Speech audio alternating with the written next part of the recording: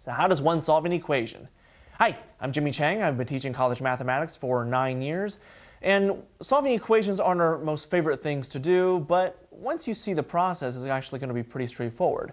Now, the more unknowns you have, the more complex that makes an equation, but let's just start with the most introductory level and start off by solving an equation with one variable. So you get to see exactly how the process starts to work.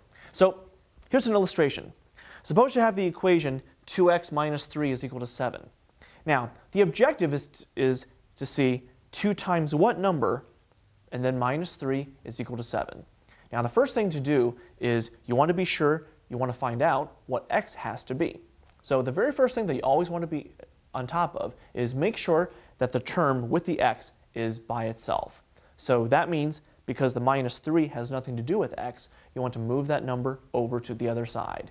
So what you want to do is, because the number is subtracted by 3 on this left-hand side, you want to go ahead and use the opposite operation to get rid of it.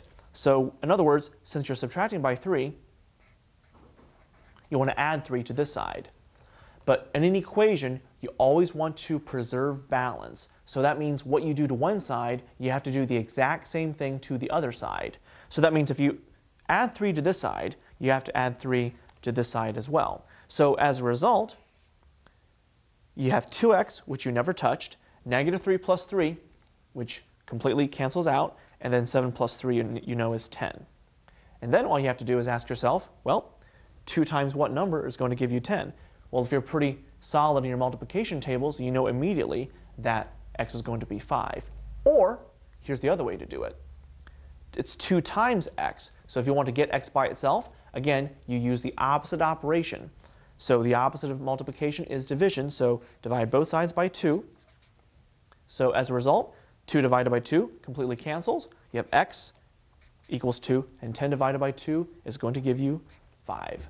So that missing answer that you're looking for is 5. So I'm Jimmy Chang, and that's an introduction on how to solve an equation.